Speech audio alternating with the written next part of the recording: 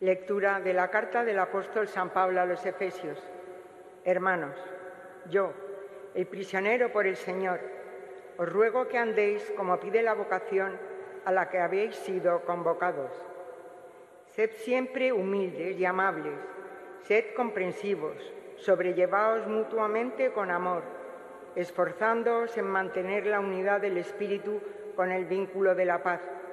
Un solo cuerpo y un solo Espíritu, como una sola es la esperanza de la vocación a la que habéis sido convocados.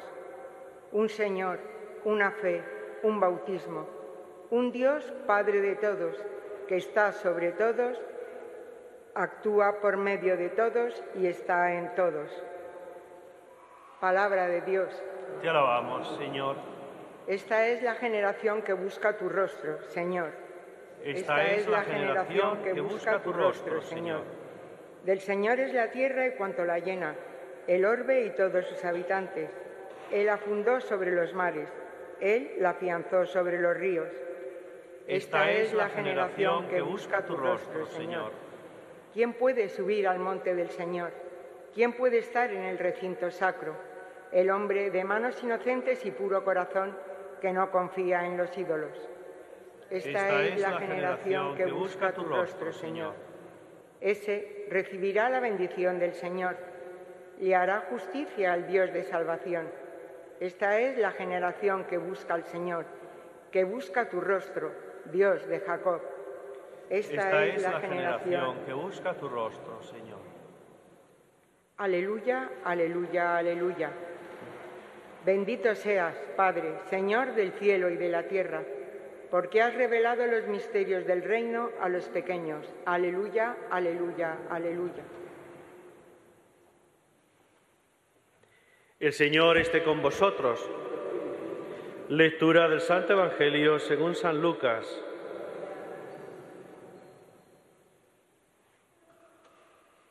En aquel tiempo decía Jesús a la gente, cuando veis subir una nube por el poniente, decís enseguida, va a caer un aguacero, y así sucede. Cuando sopla el sur, decís, va a hacer bochorno, y sucede. Hipócritas, ¿sabéis interpretar el aspecto de la tierra y del cielo? Pues ¿cómo no sabéis interpretar el tiempo presente? ¿Cómo no sabéis juzgar vosotros mismos lo que es justo? Por ello, mientras vas con tu adversario al magistrado, haz lo posible en el camino por llegar a un acuerdo con él, no sea que te lleve a la fuerza ante el juez y el juez te entregue al guardia y el guardia te meta en la cárcel. Te digo que no saldrás de allí hasta que no pagues la última monedilla. Palabra del Señor.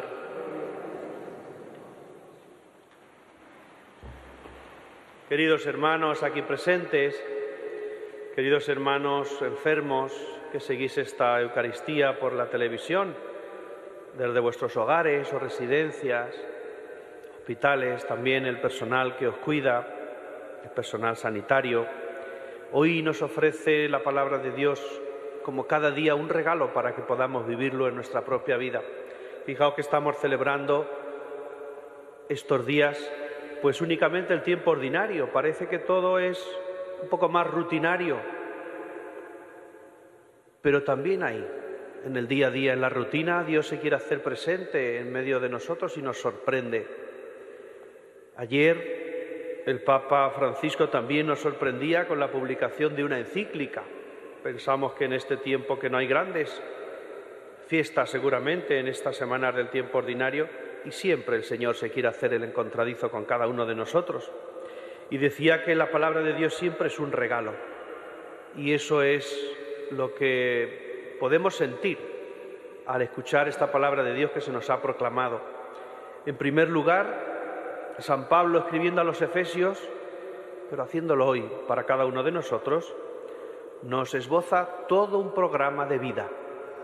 A me parece que todo lo que nos va a decir a continuación esta lectura del apóstol es para poder ser feliz, una vida en Cristo, una vida cristiana con todas las letras. En primer lugar, al, leer este trocito, esta palabra de Dios, esta primera lectura, me venía a la cabeza esa otra frase o esa otra expresión que sale en, el hecho, en los Hechos de los Apóstoles cuando decía cómo la gente quedaba admirada al ver la vida de los cristianos. Que si vivimos así como nos dice el apóstol, la gente no podrá sino admirarse de lo que ve en cada uno de nosotros y en nuestras relaciones. Y se nos dice una cosa que aparece como si fuese muy sencilla, pero en eso va nuestra vida. Y es lo que dice San Pablo, os ruego que andéis como pide la vocación a la que habéis sido convocados. La primera vocación, la primera llamada que todos hemos recibido aquí es la de ser hijos de Dios. Es por tanto, la vocación de la fraternidad, de ser hermanos, de poder sentir en nuestra presencia a ese Dios que nos ama, es una vocación, como nos transmite también Jesús, al servicio, una vocación al amor a los demás. Y por eso San Pablo nos esboza en lo que consiste esta vocación y dice expresiones tan preciosas como esta, sed siempre humildes y amables. Fijaos las relaciones que surgirían entre nosotros si fuésemos siempre humildes y amables. Si, en primer lugar, uno se considera dentro de la humildad, como vemos también en María y en tantos otros que nos han precedido en la fe, como inferior a los demás. Es decir, considera tan grande a la otra persona que desde la humildad parece que lo da todo por los demás. Cuando uno es amable Basta a veces poder saludar, poder ofrecer una palabra a la persona que tenemos al lado. Y eso hace mucho en nuestra vida. También ser comprensivos y comprender la situación de los demás. Fijaos qué cosa más buena si en nuestra vida fuésemos comprensivos, no voy a exagerar, solo con los que tenemos en nuestra casa. Creo que a veces las relaciones de convivencia se hacen difíciles seamos también comprensivos, empezando solo por los que tenemos cerca, por las personas que están a nuestro lado, por nuestras mujeres, nuestros maridos, nuestra familia, nuestros hijos, solo los que están alrededor. Fijaos, ya tendríamos mucho ganado, ¿no? Si somos capaces de entender al hermano. De manera especial el hermano que sufre, al hermano que tiene alguna necesidad, al hermano incluso que nos puede fastidiar o nos puede molestar. Yo creo que las relaciones cambiarían mucho, ¿no? Y aquí nos da la clave, San Pablo nos dice, sobrellevaos mutuamente con amor. Y el amor es ese aceite, es ese, ese, no sé, lubricante que echamos para aflojar esa relación que se tuerce.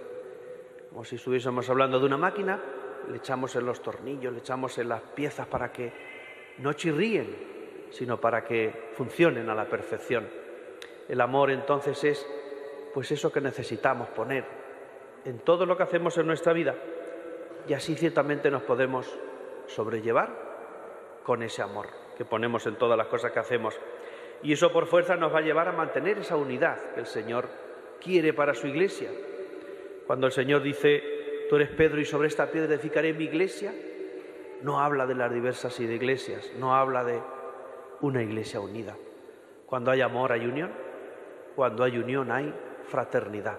Cuando hay fraternidad y comunión, estamos todos juntos en el mismo barco. Esa unidad se consigue con el Espíritu, con el Espíritu del Señor, con el vínculo de la paz, esas relaciones tan fraternas, tan pacíficas que se necesitan en toda la Iglesia, en todo el mundo, en toda la sociedad. Necesitamos estas relaciones, porque realmente nosotros podemos, con nuestra presencia en la Iglesia, con nuestra lucha por la unidad, por la paz, ser sacramento de lo que el Señor quiere para la humanidad, de ese amor que Dios nos tiene. Y nos dice también, pues, unas expresiones que nosotros vivimos un solo cuerpo, un solo espíritu. Eso es lo que compartimos en la Iglesia, en la vida, como una sola en la esperanza de la vocación a la que habéis sido convocados. Otra vez nos lo va diciendo el apóstol de manera magistral. Esa es nuestra vocación. Eso es a lo que Dios nos llama. Eso es lo que realmente nosotros debemos construir esta vida cristiana muchas veces no es fácil.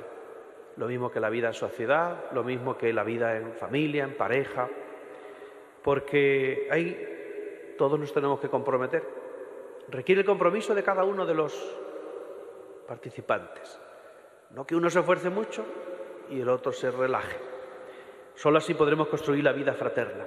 Y eso requiere mucho de ascética, pero también requiere la mística, el poder descubrir esa presencia, ese amor de Dios, esas relaciones que Dios nos transmite en la Santísima Trinidad. Así podremos construir la fraternidad. Y la esencia nos la volvió a recordar ayer el Papa. Solamente he leído las primeras páginas de esa encíclica Dilexis Nos. Empieza con una expresión preciosa. Él nos amó. El Señor nos amó, así nos lo recuerda San Pablo. Y lo mismo que el Señor nos amó, tenemos que mirar lo que nos dice el Papa, lo más profundo del corazón, para poder amar a los demás, para poder sentir ese amor y poderlo expresar a otras personas, ¿no? Esa es también la llamada de siempre del Señor, una llamada a la santidad, una llamada a la comunión, comunión con los hermanos y comunión con Dios. Yo creo que ese es el mayor testimonio que podemos ofrecer a nuestro mundo, a nuestra humanidad. Si realmente ven entre nosotros, como decían los hechos de los apóstoles, cómo se aman. Mirad qué relaciones tan fraternas, tan profundas hay entre ellos, ¿no? Y el Evangelio también es un texto que me ha parecido muy interesante, ¿no? Porque hoy en día parece que sabemos de todas las cosas, ¿no? Ni qué decir tiene, pues de esto que mismamente ya decía este evangelista en el siglo I, ¿no? San Lucas nos decía que yo sabéis interpretar el cielo, sabéis ver lo que va a suceder, dependiendo de dónde venga el viento, pero si sabemos esas cosas, ¿por qué no tenemos también los ojos abiertos para lo que Dios nos pide? ¿Por qué no tenemos también la mirada abierta para la mirada, los ojos, corazón abierto para ver lo que sucede a nuestro alrededor, para ver esos signos de los tiempos? A veces eso requiere también que dejemos nuestras rutinas, que descubramos el proyecto que Dios tiene para nuestro mundo, que seamos capaces de construir aquí y ahora ese reino de Dios, hacerlo ya presente, que es lo que viene a hacer el Señor. Lo que viene a hacer Jesús es estudiar el reino de Dios.